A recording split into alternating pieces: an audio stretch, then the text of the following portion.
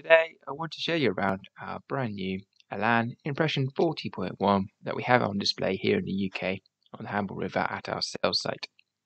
It's only been afloat for a couple of days to complete the commissioning and was taken around to the Southampton Boat Show just before it was cancelled. She's now lifted ashore. She's boat number one on our walkway uh, here at our sales site at Deacons Marina right by the office and is ready to be viewed. I just want to do a video of her in place before you have a look around. Let's have her wander up and go look up on deck.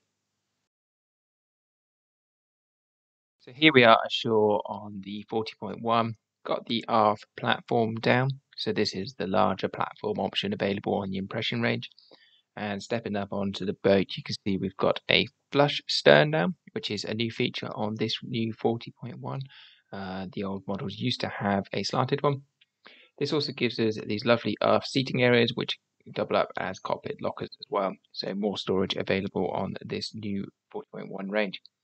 Got a wooden table on this boat, so under a cover here in the lovely English weather.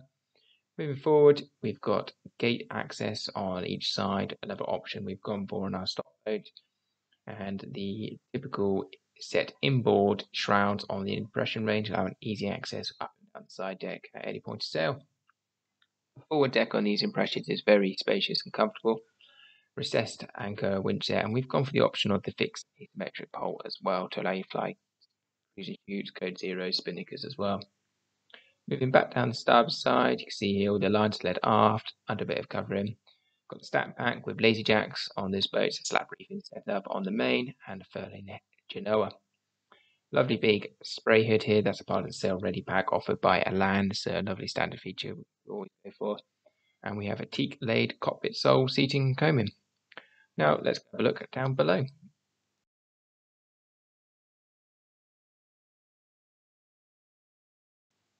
Down below we have a free cabin two head layout. So the owner's cabin forward with ensuite and then two half cabins sharing the head. We've gone for a nice grey flooring and blue upholstery with newly designed and interior layout. So we've got the large L-shaped galley. This has been upgraded with some larger storage on the uh, back end of the galley there. The lovely big table that flips out, so double the size there, and the flip out table as well with the nav panel. Obviously, the one that won all the awards when first released on the GT range. These impressions have a lovely, light, spacious feel to them and loads of head height, uh, so very accommodating to anybody that comes aboard. Moving forward to the owner's cabin at the bow, we've got a very, very generous V berth. Heads on the port side, and then big storage lockers, shelving, access to everything all around. The heads on these boats are very nice, comfortable place. Got proper toilet there, pull out tap to make a shower as well, and storage and a mirror. Moving back into the saloon, you can see you've got all the brochures here for the Foreland Range, here the demonstrator boat, and the nice light spaciousness. It's actually quite a grey day here in the UK as you'd expect. It's still quite comfortable. Here on the starboard side we've got the main day head, single door access and very light and spacious. Got tinted glass on the windows so a lot of privacy on that large window. The aft cabins are even on the berth sizing.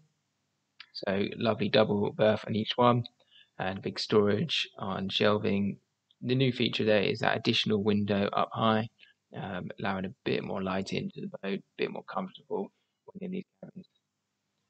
As you can see, brand new boat, sail still in the bags in plastic, some of the upholstery is still covered up there, and she's ready to go. Feel free to contact us and here at Deacons Marina with any questions about this Elan impression.